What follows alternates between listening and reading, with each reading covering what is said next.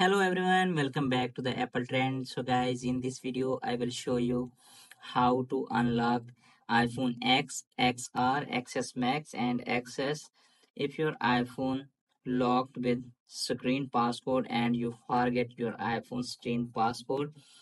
In that method, you don't need any computer or any third party app. Make sure your iPhone connected with Wi-Fi and you don't have any SIM card in your iPhone. As you can see this time there is no SIM card and that, that iPhone connected with strong Wi-Fi.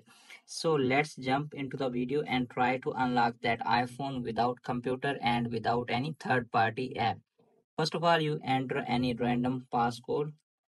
Okay, as you can see this time this iPhone not accepting any passcode so what is the next procedure? The next procedure is, is you need to tap on emergency. Okay in emergency section you need to dial a secret pin code hash 0808 star 9630 hash. Okay after entering that passcode you need to tap mm-hmm. on dial button. And as you can see it's asking for a passcode. Just cancel that okay? Because that pin not working right now.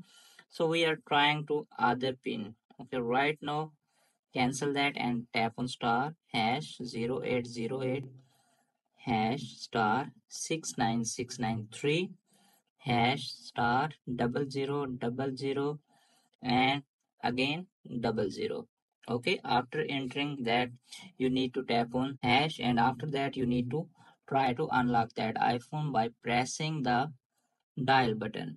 Okay now make sure you dial last six digit that you recently added in pin code.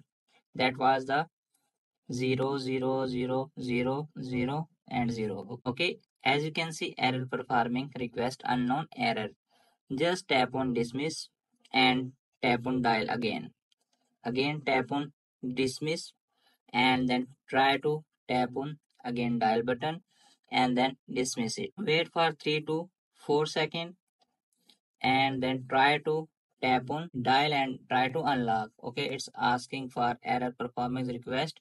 Again tap on dismiss and now tap on cancel and unlock your iphone. It will 100% unlock without any issue but make sure this method work only in a few countries.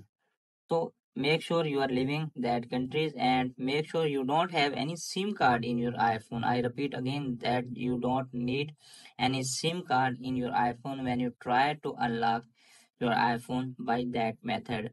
Hope this video is helpful for you. If the video is helpful for you don't forget to share apple trend and subscribe the apple trend for more upcoming videos like this. Thanks for watching